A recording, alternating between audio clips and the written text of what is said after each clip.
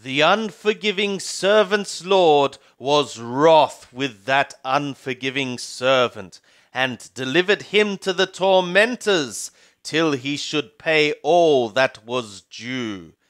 Likewise shall also my skyly Father do to you, if ye forgive not every one his brother from your hearts.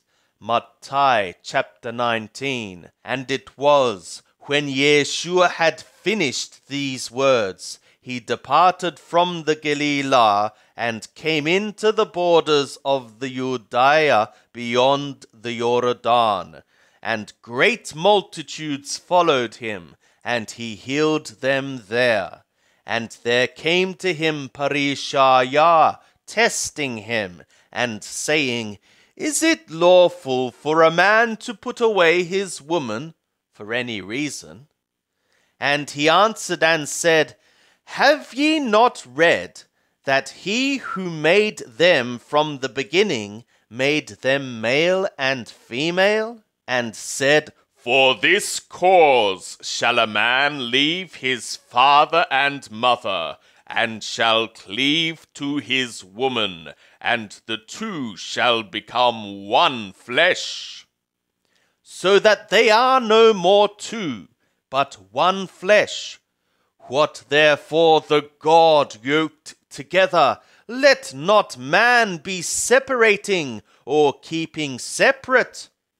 They say to him, Why then did Moshe command to give a bill of divorcement and to put her away? He saith to them, Moshe, for your hardness of heart, allowed you to put away your women, but from the beginning it hath not been so.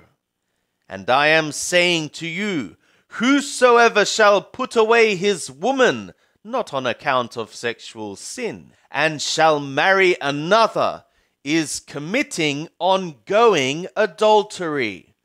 The disciples say to him, if thus is the case of the man with the woman, it is not expedient to marry. But he said to them, Not all men can receive this saying, but they to whom it is given. For there are eunuchs that were so born from their mother's womb, and there are eunuchs that were made eunuchs by men, and there are eunuchs that made themselves eunuchs for the kingdom of the skies' sake. He that is able to receive it, let him receive it.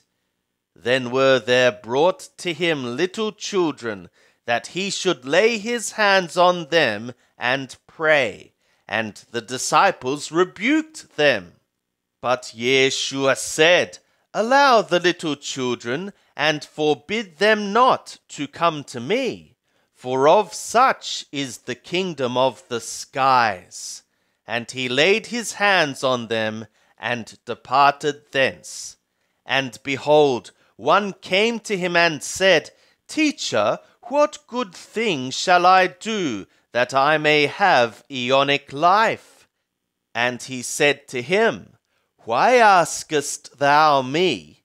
concerning that which is good. One there is who is good. But if thou wouldst enter into life, keep the commands. He saith to him, Which?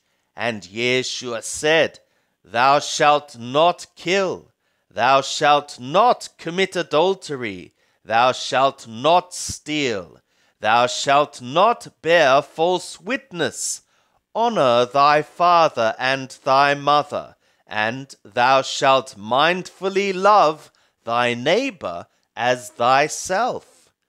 The young man saith to him, All these things have I observed. What lack I yet?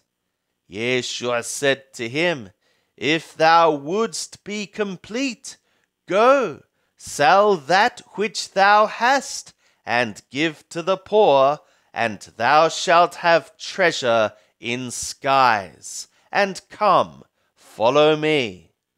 But when the young man heard the saying, he went away sorrowful, for he was one that had great possessions. And Yeshua said to his disciples, Amen, I am saying to you, it is hard for a rich man to enter into the kingdom of the skies.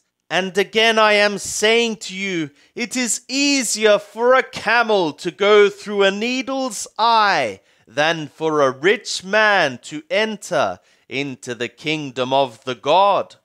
And when the disciples heard it, they were astonished exceedingly, saying, Who then can be saved? And Yeshua, looking upon them, said to them, With men this is impossible, but with God all things are possible. Then answered Petro and said to him, Lo, we have left all and followed thee. What therefore shall be for us?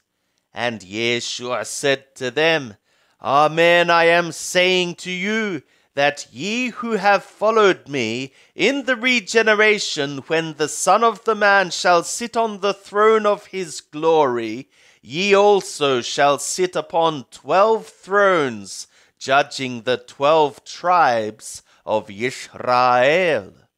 And every one that hath left houses, or brothers, or sisters, or father or mother, or children or lands, for my name's sake, shall receive a hundredfold, and shall inherit aeonic life. But many shall be last that are first, and first that are last. For the kingdom of the skies is like a man that was a householder, who went out early in the morning and at the third hour, and at the sixth hour, and at the ninth hour, and at the eleventh hour, to hire laborers into his vineyard. And when they had worked, he gave each one a single denarius.